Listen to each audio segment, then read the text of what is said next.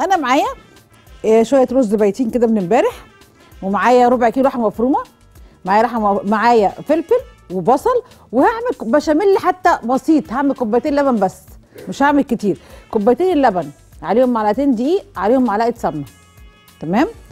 أبدأ بقى أعمل إيه دلوقتي؟ أعصج اللحمة وأعمل بشاميل الرز بايت أهو مش مشكلة طبعا عايز تعمليه اعمليه طبعا هو كوصفة من أولها حلوة جدا يعني بس تعملي رز أبيض عادي. يعني هي كوصفه عايز تعمليها النهارده.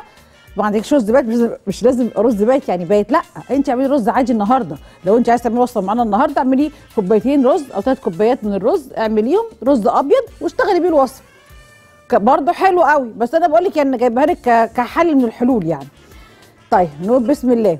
آه هنعصج اللحمة معلقة زيت كده. أنا بقى عشان أديها شكل وقيمة كده وسيمة هروح مديها إيه؟ شوية فلفل ألوان كده يعملوا لها ألوانات ومناظر كده. فهناخد بسم الله اللحمة الأول.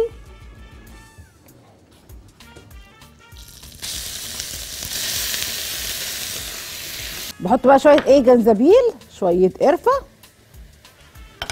شوية ملح. كل ده على اللحمة بس تمام؟ وبعدين أنزل بالبصل. نشوف بقى في رمضان هتعملوا معانا إيه. في رمضان بقى حد هيبقى صاحي ولا كله هيبقى نايم؟ هنشوف. بس أنا أنا أنا أولكم نايمة بصراحة يعني بصراحة. لا استنى. امم بصوا البصل والفلفل مع بعض. ماشي؟ البصل ده فلفل ألوان مقطعينه صغنن كده مع بعض. أجي بقى أعمل بشاميل. ده كده أنا عصقت اللحمة. بس أنا تستوي بقى شوية كمان كده. البشاميل عبارة عن إيه؟ معلقة من السمنة معلقتين من الدقيق وكوبايتين من اللبن. معلقة سمنه تسيح. بصوا إحنا عصرنا اللحمة دي بطريقة جامدة جدا وشوفوا الألوان حلوة إزاي فيها. مشهية يعني والبصل أنا حطيته كمان ما هرتوش ياخد لون أبيض كده معاها فشكله جميل جدا أبيض وأخضر وأحمر وأصفر. هيصة عندي فرح هنا جوه البتاع جوه الحلة. وهحط هنا كده هنا بسيح معلقة السمنة. كويس قوي قوي هنيجي بس الأول نعمل بشاميل اللي كنا بنعمله مع بعض اللي دايما بيكلكع مننا وبيضايقنا خالص اللي هو بنبدأ إن إحنا زي ما قلت لكم بنسخن معلقة السمنة وننزل معلقتين الزيت ال- معلقتين الدقيق. ينزلوا تلاقيهم بصوا لازم يفوروا كده في الايه في السمن. وبعدين هقلبها أشم ريحة الدقيق. أشم ريحة الدقيق وأروح بس استنى عليها ثواني يصفر كده. ومعايا هنا كوبايتين لبن بارد. كوبايتين لبن بارد.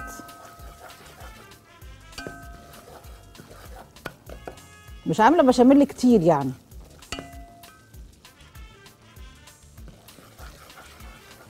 نزله كله مرة واحدة وقلب كده إن شاء الله ما يكلكعش معاكي خالص. السمنة سخنة. الدقيق ينزل يتحمر مع السمنه السخنه واللبن بارد خالص أنزله على الإيه؟ مرة واحدة كله على الدقيق اللي اتحمر أو اللي خد إيه؟ شوية سوا. وأروح حاطة سنة ملح وفلفل. بص بقى أنا باخد شوية رز كده حطيتهم هنا. يعني إيه؟ لخبطة بسيطة كده مع اللحمة. يعني اللحمة مش كتير هنا اللي أنا عاملاها دي مش كتير مش حطاها مش كتير. تمام؟ بقلب بس هنا كده لازم البشاميل ده يغلي وعليه شوية جبنة موتزاريلا بسيطة. الطبقة التحتانية دي كلها بس ماشي؟ طبعا عايزة تحطي كل ال- الصينية ملخبطة على بعضها ماشي. بس أنا إيه قلت لأ أخلي جزء كده وجزء لحمة في النص ما أنا بقى عاملة الربع كيلو حولته لإيه؟ حولته لكيلو فبراحتي بقى. أعمل عمايل جامدة فيه خالص. فبقى كده في الطبقة التحتانية رز على لحمة بسيط واللحمة في النص والرز برضو اللي على الوش إيه؟ اضيف له شوية لحمة صغيرين. وادي البشاميل خلاص غلي. وبعدين أروح حاطة رز ده ممكن اخليه ابيض مش هحط له لحمة ده كفاية لحمة كده عليه. يبقى كده عملت ثلاث اشكال من ال من إيه؟ من الرز. وكل ده أنا عاملاه بكوبايتين رز. طبعا بسمتي بلدي زي ما انت عايزة. ادي كده الطبقة اللي فوق اهي. تمام؟ هعمل معاها إيه كمان بقى النهارده؟ هعمل كبدة فراخ. عندي كام كبدة فراخ كده هعملهم في الطاسة بطريقة سهلة وبسيطة برضو بكمية بصل محترمة. باخد بقى البشاميل ده بصوا بحط له حوالي نص كوباية جبنة. حاضر.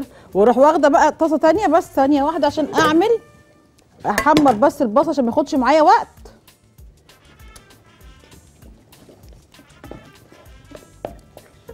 وأروح حاطه ده على الوش. فين الفوطة؟ فين الفوطة؟ بسم الله بسم الله. احطه على وش الرز. يبقى أنا هنا كده عندي الصينية دي فيها ثلاث أنواع من الرز. الأولانية اللي فيها أو ثلاث أنواع من الطبقات يعني. الأولانية اللي فيها شوية لحمة مفرومة وبعدين لحمة مفرومة في النص وبعدين البشاميل الرز اللي على الوش اللي فيه البشاميل. عايزة أقول لكم جامدة جدا. الحاجة غالية دلوقتي مش عايزين نرمي حاجة. كل حاجة نستفيد منها. وطبقة الرز الأولانية واخدة طعم اللحمة مفرومه طبقة الرز اللي فوق واخدة طعم البشاميل.